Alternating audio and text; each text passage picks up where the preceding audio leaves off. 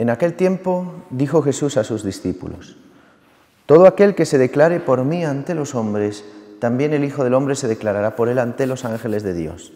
Pero si uno me niega ante los hombres, será negado ante los ángeles de Dios. Todo el que diga una palabra contra el Hijo del Hombre podrá ser perdonado, pero al que blasfeme contra el Espíritu Santo no se le perdonará. Cuando os conduzcan a las sinagogas, ante los magistrados y las autoridades, no os preocupéis de cómo o con qué razones os defenderéis o de lo que vais a decir, porque el Espíritu Santo os enseñará en aquel momento lo que tenéis que decir. Palabra del Señor. Pues hermanos, esto es una prueba definitiva de que uno es cristiano, cuando lo persiguen por causa de Jesucristo, por causa del Evangelio. Si tú te pones de parte del Señor, te vendrá la persecución. Entonces piensa por qué no te persigue nadie. Quizá porque nunca te has puesto de parte del Señor. Quizá porque nunca das razón de tu fe. Quizá porque te gusta ser un cristiano anónimo, un cristiano eh, que pasa desapercibido, de bajo perfil. Un cristiano no puede ser de bajo perfil, hermanos. No puede ser de bajo perfil. No se enciende una lámpara para ponerla debajo del celemín, sino que se pone sobre el candelero. Y al que no le guste, pues te querrá apagar. Al que le gusta vivir en la oscuridad, te querrá apagar. Porque le molesta la luz. Le molesta la luz. Dice el prólogo del Evangelio de San Juan, y la luz se hizo, y, vino la luz al mundo, dice, pero algunos amaron más las tinieblas que la luz. Sí, sí, es verdad. Y por lo tanto van a intentar apagarte. Por eso digo que no podemos vivir nuestro cristianismo anónimamente. No podemos ser de esos cristianitos que muy bonito y los domingos vamos a misa y listo, y muy bien, y yo rezo y yo hago mis cosas con el Señor y yo voy llevando mi vida y como mucho el domingo voy a misa.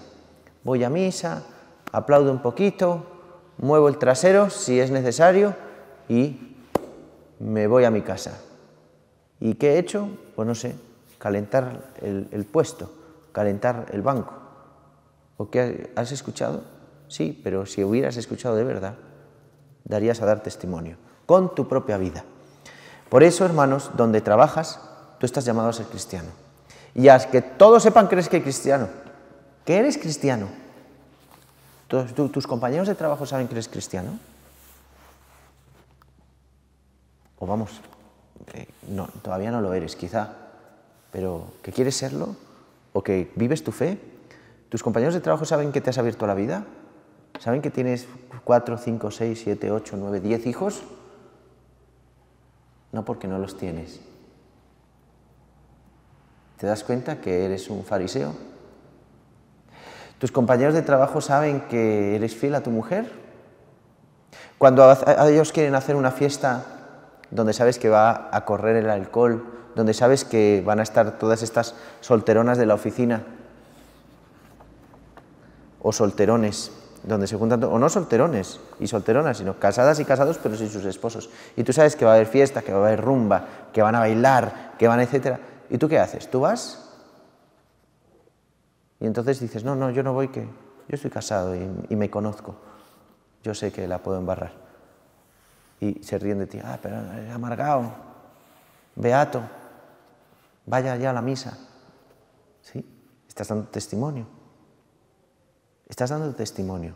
Créeme que esas personas, cuando necesiten un consejo, te lo van a pedir a ti.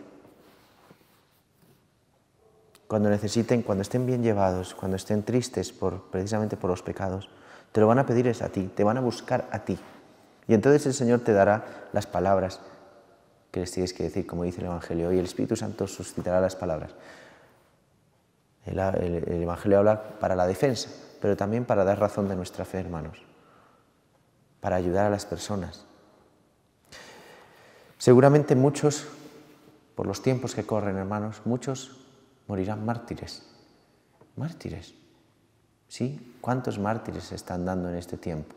Hoy, ¿cuántas personas están matando hoy en algunos países porque son cristianos? Porque van a misa, porque se reúnen a rezar, porque hacen el bien. El mundo odia, el mundo odia a los cristianos. ¿Sabes por qué? Porque muestra la luz. Porque les muestra que están oscuras, que están a oscuras. Que el Señor nos ayude en el momento de la prueba. Pidámosle también a la Virgen María hoy que ruegue por nosotros. Ruega por nosotros, que somos pecadores. Ruega ahora y en la hora de nuestra muerte. ¿Cuántas veces hemos rezado esto? Que la Virgen rece ahora y en la hora de nuestra muerte. Rézalo muchas veces, reza el rosario, reza el Ave María, para que la Virgen te ayude en el momento de la prueba, en el momento de la muerte, a no blasfemar, a no maldecir, a poder entrar en la voluntad de Dios, sea como sea, en el martirio, la muerte natural, en una enfermedad, en lo que sea. Que el Señor nos consuele hoy, que nos dé su Espíritu Santo, dice porque es el Espíritu Santo el que hablará por vosotros, os enseñará y hablará por vosotros. Que nos dé su Espíritu Santo para saber qué decir, para saber cómo obrar, para saber eh, cómo actuar y a qué personas tenemos que hablarles. Porque no se trata tanto de hablar mucho, el testimonio no es hablar mucho. El testimonio es mostrar con nuestra vida, con nuestra manera de vivir, con lo que somos, gozándonos la vida, hermanos, disfrutando la vida. Si es que el cristiano no es un amargado, el cristiano se disfruta y se goza la vida. Gozándonos la vida, saber gozárnosla bien. Y el que mejor se goza la vida es el cristiano, ¿sabías? Ese se la disfruta toda. Toda la vida se disfruta, es cristiano. Y así vamos a ser testimonio para los demás. ¿Cómo disfrutas tú la vida? ¿Cómo puedes amar? Cuando perdones, cuando ames, pídele al Señor que te conceda no, no mostrarte tú, sino mostrar a Jesucristo. Porque los otros no están dispuestos a ver que nosotros somos maravillosos, que somos estupendos, que hacemos las cosas bien, porque además es que nosotros no somos, sino que es el Señor. Mostremos con nuestras obras a Jesucristo. El Espíritu Santo clama dentro de nosotros y gime para ayudarte a mostrar a Jesucristo, para que tú dejes de ser tú y sea Cristo en ti el que puede hacer la obra. Esto es la fe, ya esto es a lo que nos llama el Señor desde el bautismo. Que así sea, hermanos.